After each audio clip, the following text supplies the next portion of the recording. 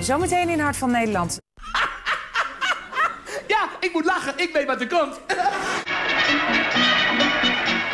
De zwarte pieten lieten zich de maaltijd goed smaken. Maar Sint-Nicolaas nam alles slechts mondjesmaat tot zich.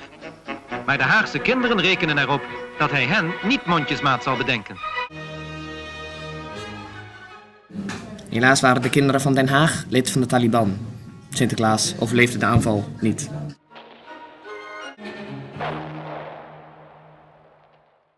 Ook Zwarte Piet werd aangevallen. De kinderen waren uitzinnig en hadden maar één reactie. Laten we dit snel weer doen.